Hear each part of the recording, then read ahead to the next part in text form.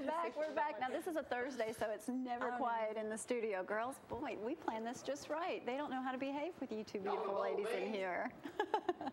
Pass on the beans. Let's talk about the rodeo. There's a lot of things taking place. Of course, Miss Lacie Estep and Leisha with us this morning. How are you guys? Good. Good. I asked you earlier, what's the biggest goofball uh, pickup line you heard from one of these cowboys? But you said there's Well, been so many. Yeah, might, might have been from Jeff just a minute ago, and he asked if he could be the rodeo king. So Oh, busted. He's in trouble now. No, Denny, he didn't. He's just teasing this morning.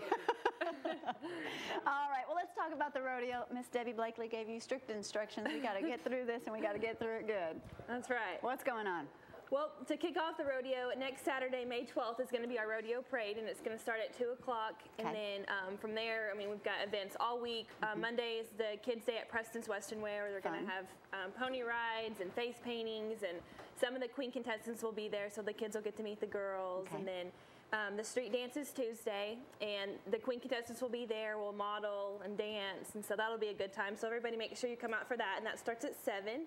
And then um, Friday is a special needs rodeo, which is always a big deal. Oh, my favorite event of the year. It is. It's so good, and so everyone needs to come out for that. And then the rodeo, of course, Friday night, and then um, Saturday we have a wonderful luncheon for the queen contestants, and then the rodeo that night to follow. So busy, busy week coming up. You know, up. for the 30th annual year for this, Sheriff Blakely has just made this into a full month-long event, it seems like, from the parades and everything else, and it's always a great time. And I cannot believe Zach Green has not been to the rodeo. I am going to personally drag him down there this year, for sure. Well, let's talk about the luncheon as well.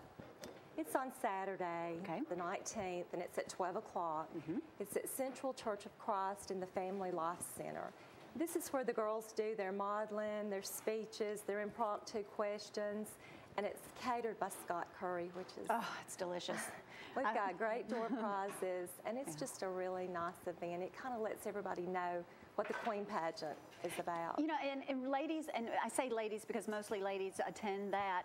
Um, Tony Gooch, I know, recorded or taped it several years ago, and I've had the pl- uh, privilege of judging it a couple of years. And you know what? There's so much more that goes into it, and what you girls have to go through than you'd ever imagine. That's right.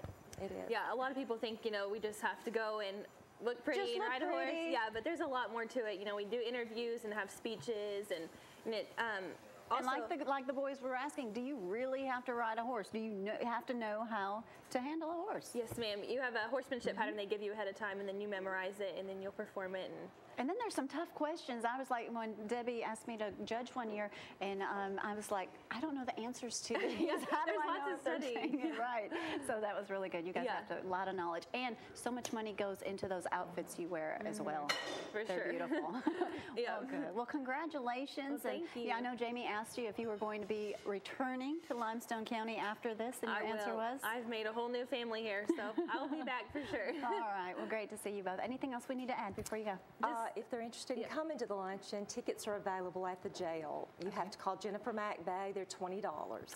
And it's a wonderful lunch, like she said. It is. Yep, Okay, and then any girls who want to enter the contest, the deadline's next Thursday, so make sure you get your applications in. Why do you think it's important for girls to enter this at a young age? What do you get out of it? What do you teach them? Well, whenever I entered this, whenever I was little, you know, I was so shy and I hated to get in front of people. I mean, I couldn't Me have sat here and got on TV right now. So it's really opened me up as a person, and I think you get lifelong skills out of it. You know, you interview, so you have job interviews. So I think lots of great things come out of it. That's great. I tell everybody I failed speech twice in high school. God has a sense of humor. Look at my life now. but thank you for being with us this morning. Thank you. All right, we're going to take a break. We'll be back right after this.